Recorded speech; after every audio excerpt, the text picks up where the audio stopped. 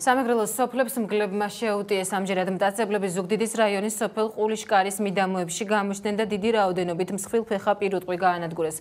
ადგილობრივი მოსახლეობა საკუთარი ძალებით მგლებს ვეღარ უმკლავდება მტაცებლები მათ უკვე სახლებში შედიან შეშფოთებული ყულიშკარელები ხელისუფლებისგან ითხოვენ დახმარებას.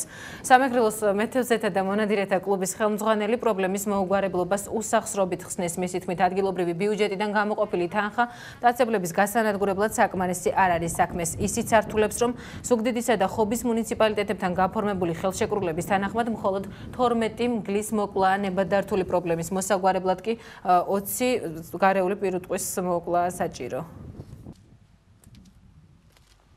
ლეჯავენ ზაგონეს. აგერ მეზობეს ვინარ მაგაზარიას ორი ერთად, ერთღანეს ორი ერთად შეუჯამა. ალბათ ორი იყო, სამი იყო, ერთი არ იზამდა მარტო მაგას. დაღლეჯილი და მუცელი შეჭმული გონდა და წინა ფეხი წაღებული გონდა მთლიანად ის არ იყო ხარაფი ნარჩენ. შეძლებს და გვარად ყველაფერს ვაკეთებ. ვაკეთებ იმისთვის, რომ რომ გავანადგუროთ. ერთი და ორი არ არის. ბევრია, ბლომად არის.